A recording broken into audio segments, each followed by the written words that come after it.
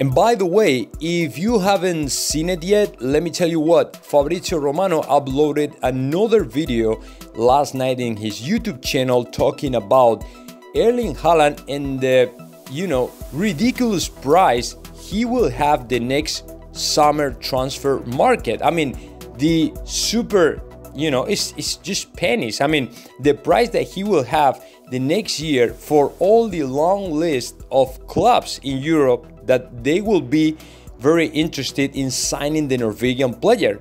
He said the release clause of about 75 million will be the price he will have the next summer for every single team in Europe willing to sign him for the next season.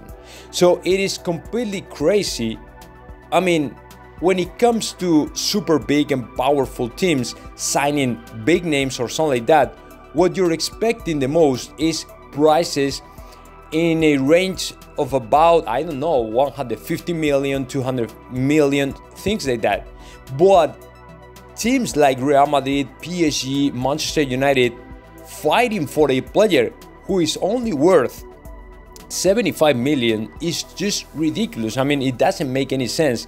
To me, Borussia Dortmund will try everything they got to raise a little bit more that price and try to get some more money. Don't get me wrong. Even if they sell for 75 million, will be a very good deal for them because they uh, bought the player back in 2019 for just about uh, 20 million euros. So it is still a very good deal for them. But 75 million with Manchester United, Real Madrid, and PSG fighting for him, it's gonna be ridiculous, man. But that is allegedly the price he will have the next summer transfer market.